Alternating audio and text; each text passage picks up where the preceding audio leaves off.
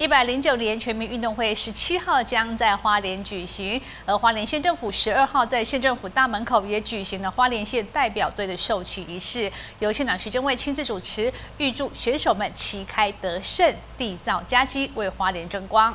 一零九年全民运动会将于十月十七至二十二日在花莲点燃战火，共计二十八项运动赛事，花莲县代表队选手及队职员共四百八十二人，将参加二十四个竞赛项目。十二日下午，在华林县府大门口举行代表队授旗典礼。我要谢谢教育处，还有花莲县政府哈，所有各局处携手，我们将整个二十八个场馆真的把它做起来，而且真的都非常非常的漂亮，焕然一新。尤其是我们体育园区，还有呃泰山国小我们县立的游泳池，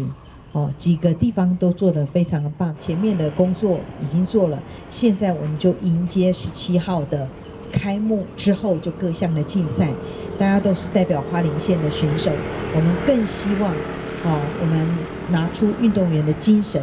尤其是原来运动是我们培养我们的毅力、耐力，还有我们的体力，但是在竞技场上，我们就要争取最高的、最高的荣誉。徐正伟感谢各位选手及教练期间辛苦的付出，祈勉所有选手在今年的全民运动会能在自己的主场再创自我运动生涯的新业，为华联争取最高荣耀。